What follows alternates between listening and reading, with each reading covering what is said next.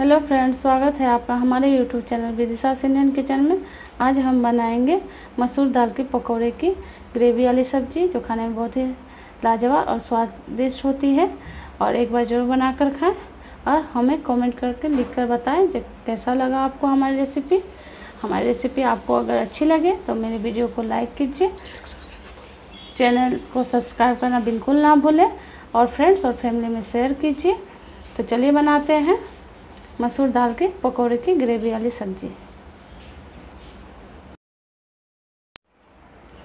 तो आज हम फिर आए हैं आप लोगों के साथ एक रेसिपी शेयर करने के लिए।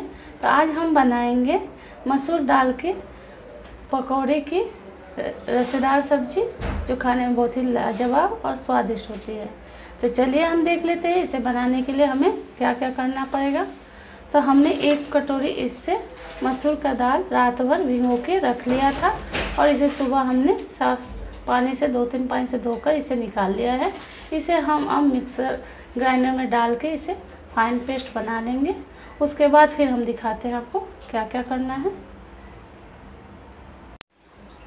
तो देखिए, हमने मिक्सर में इसे, मिक्सर के जार में इसे फाइन पेस्ट बना लिया है। इस तरह से पेस्ट बना लें। अब इसमें हम डालेंगे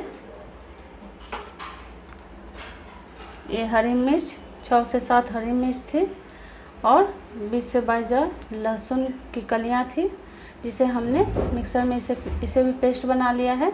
इसमें से हम डालेंगे एक चम्मच भर के, थोड़ा लहसुन इसमें पड़ता है, मसूर का दाल है, इससे टेस्ट ज़्यादा आता है। तो इसमें हमने इस चम्मच से डेढ़ चम्मच लगभग हरी मिर्च और लहसुन का पेस्ट डाल दिया है। आप अगर चाहें तो एक बारीक प्याज भी डाल सकते हैं, लेकिन हम प्याज नहीं यूज़ कर रहे हैं। और इसमें डालेंगे हल्दी इस चम्मच से, एक चम्मच, और थोड़ी सी तीखी लाल मिर्च। तीखा अपने हिसाब से ले सकते हैं। हम थोड़ा तीखा बना रहे हैं। और स्वाद अनुसार नमक ग्रेवी में डालना है तो थोड़ा ध्यान से ही डालें। अब इसे हम मिक्स कर लेते हैं।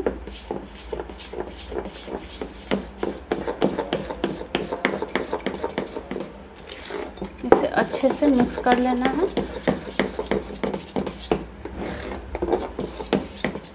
अभी बारिश का टाइम बारिश का मौसम है। सब्ज़ी, हरी सब्ज़ी मिलने में थोड़ा दिक्कत आ रही है और लॉकडाउन भी लगा हुआ है। बिहार में हम लोग हैं, यहाँ संपूर्ण लॉकडाउन लगा हुआ है। तो इसलिए थोड़ा परेशानी हो रही तो घर ही का सूखे सब्ज़ी, सूखे माने सामान से ही हम लोगों को कुछ कुछ बना के अभी चलाना पड़ रहा है।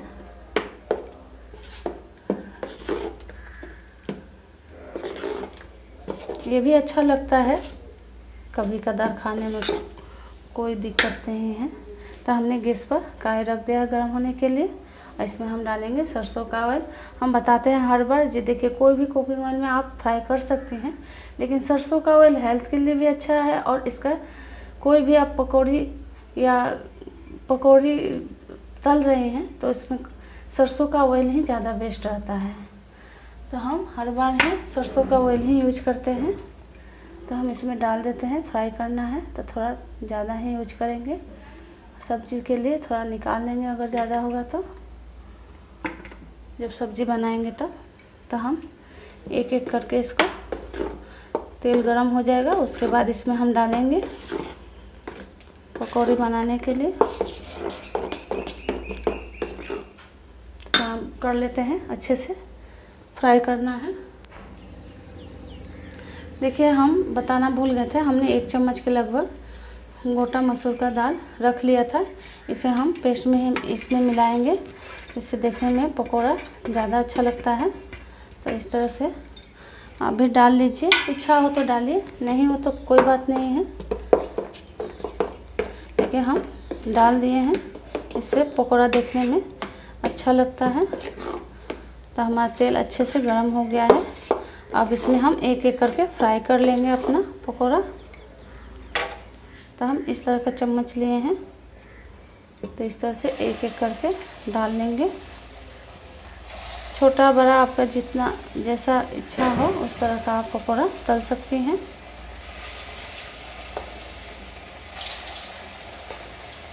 ये बहुत ही लाजवाब लगता है। इसका दाल भी बहुत अच्छा लगता है और इसका पकौड़ा का सब्ज़ी भी। इस, इसे आप चाय के साथ भी कभी बनाकर खा सकती हैं। बहुत टेस्टी लगता है। तो एक बार ज़रूर बनाएँ इस तरह से।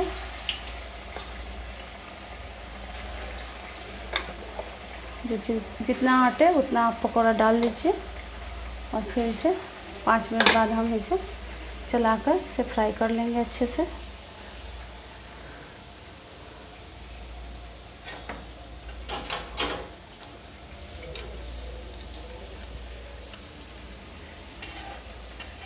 तो तेल अच्छे से गर्म हो जाए, उसके बाद ही डालें। तो देखिए कितना अच्छा मेरा पकौड़ा फूल भी रहा है।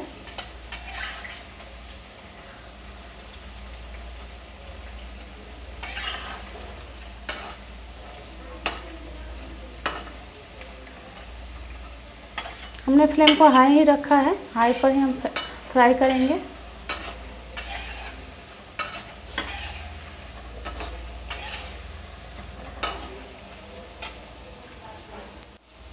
तो देखिए हमारा पकौड़ा अच्छे से फ्राई हो गया है।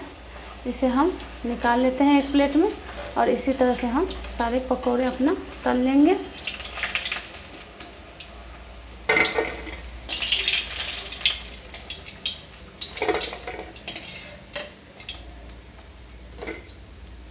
तो इसी तरह से हम सारे पकौड़े को तल लेंगे एक एक करके।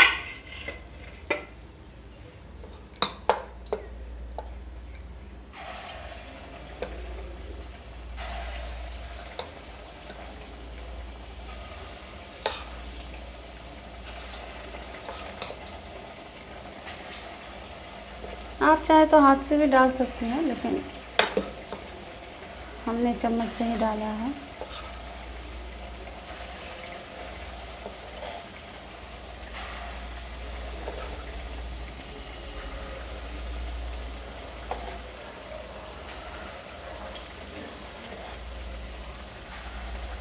इसे भी हम फ्राई कर देंगे। चलाते हुए। तो देखिए हमने सारे पकौड़े तल लिए हैं। तो इस तरह से आप भी तल लीजिए। देखिए कितना सॉफ्ट बना है और अंदर से भी अच्छे से पक गया है। तो इस तरह से हम पकौड़ियाँ तल लेंगे। उसके बाद आपको दिखाते हैं हम ग्रेवी के लिए क्या क्या लिए हैं।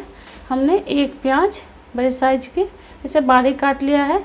चार टमाटर कद्दूकस करके लिए हैं। आप चाहें तो पेस्ट बना लीजिए इसका भी और प्याज का भी आप पेस्ट बना सकते हैं। और हमने खड़ा मसाला में एक, दो प्याज लिया है मीडियम साइज़ का और दो सूखी लाल मिर्च और चार कलियाँ लहसुन की। इसे हमने मिक्सर में पेस्ट बना लिया है और तड़के के लिए लिया है हमने सरसों, काली वाली और जीरा। और होममेड जो मसाला हम तैयार किए थे, उसी से हम डालेंगे। इसमें से, इसमें है गोल मिर्च है, जीरा है, धनिया पाउडर है और सूखी लाल मिर्च और दो से तीन तेज़पत्ता इसको हम भून कर इसका मसाला सूखा तैयार कर लिए हैं। तो ये होममेड है। इसी से हम सब्ज़ी आज, इसी से, इसी में से डालेंगे सब्ज़ी में। तो चलिए, हमने कढ़ाई से तेल ज़्यादा था फ्राई किए थे तो हमने निकाल दिया है और जितना हमको लगेगा उतना तेल हम इसमें डाल दिए हैं। दो से तीन चम्मच होगा। अब इसमें हम तड़का लगाते हैं। आधे टीस्पून सरसों, काली वाली। और आधे टीस्पून जीरा। जीरा हमारा चटकने लगेगा, तड़का। तो हम इसमें डालेंगे प्याज, जिसे हमने काट के रख लिया है।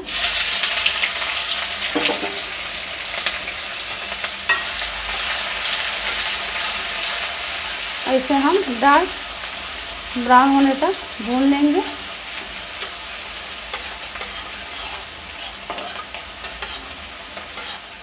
तो देखिए हमारा प्याज हो गया है ब्राउन, डार्क ब्राउन हो गया है। अब इसमें हम डाल देते हैं पेस्ट जो हम बनाए थे।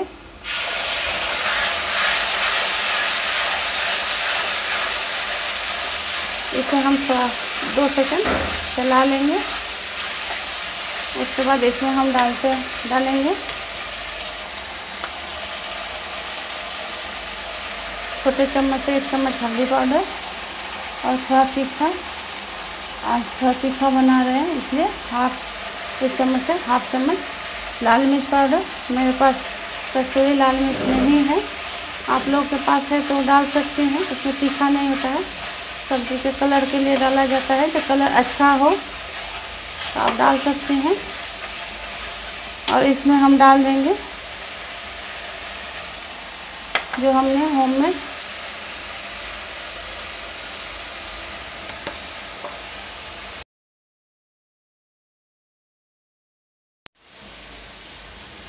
तो होममेड मसाला जो तैयार किए हैं, उसमें से हम डाल देंगे इस चम्मच से। डेढ़ चम्मच के लगभग, छोटे चम्मच से। और इसको मिला लेंगे।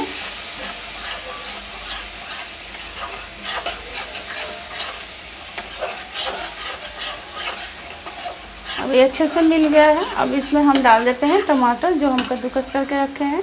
टमाटर हम ज़्यादा इसलिए यूज़ करते हैं जो ग्रेवी गाढ़ी हो और ज़्यादा हो, मसाला कम यूज़ करते हैं और टमाटर हम ज़्यादा यूज़ करते हैं। आप अगर चाहें तो मसाला थोड़ा ज़्यादा ले लीजिए, टमाटर कम ले सकती हूँ।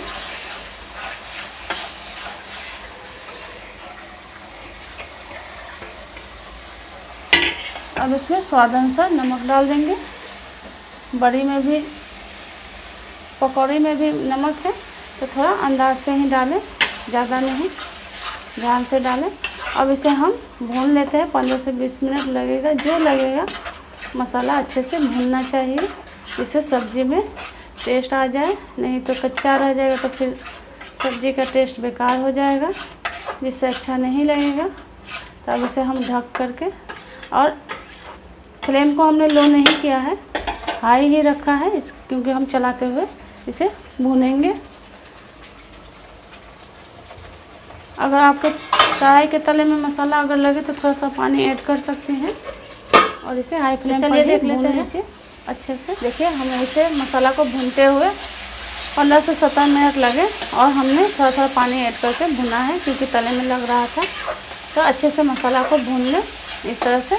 अब इसमें हम डाल देते हैं ग्रेवी के लिए पानी। ये सब्ज़ी बहुत ही लाजवाब बनती है, सच में। एक बार ज़रूर बनाकर खाएँ।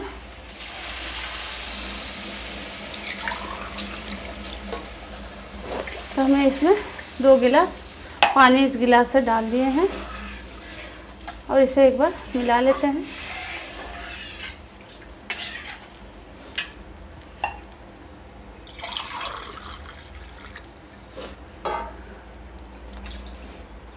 थोड़ा सा कम, तीन गिलास पानी हमने इसमें डाला। आपको ग्रेवी जितना पतली या गाढ़ी रखनी है, उतना पानी ऐड कर सकती हैं। अब इसमें हम एक उबाल आएगा, उसके बाद हम पकौड़िया डालेंगे। तो इसको ढक देते हैं, एक उबाल आने तक। तो चलिए देख लेते हैं। देखिए, हमारे ग्रेवी में अच्छे से उबाल आ गई है। अब इसमें हम ये पकौड़िया डाल देते हैं।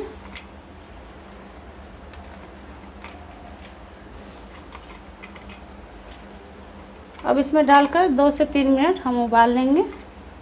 ढक्कन लगा के, उसके बाद आपको दिखाते हैं।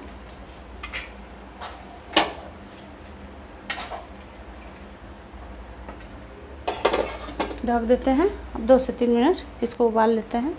तो चलिए देख लेते हैं। दो से तीन मिनट हो गया है। तो देखिए, अच्छे से ये हमारी सब्ज़ी तैयार हो गया है बनकर। और हम इतने गाढ़ी रखेंगे। आपको अगर चाहे और ज़्यादा गाढ़ा हो तो थोड़ा सा और उबाल लीजिए। क्योंकि ये ठंडा होगा तो थोड़ा सा गाढ़ा हो जाएगा। क्योंकि ये बड़ी जो है, थोड़ा रस रस सोखता है। तो इसे हम इसी टाइम ऑफ़ कर देंगे। गैस को बंद कर देंगे। हमारी वीडियो आपको अगर अच्छी लगे रेसिपी तो एक बार ज़रूर बना कर खाएँ और हमें बताएँ कि कैसी लगी हमारी रेसिपी आपको। और हमारे चैनल को सब्सक्राइब कीजिए, वीडियो को लाइक कीजिए फ्रेंड्स और फैमिली में शेयर शेयर कीजिएगा। तो फिर हम मिलते हैं एक नए रेसिपी के साथ। तब तक घर में रहें, स्वस्थ रहें।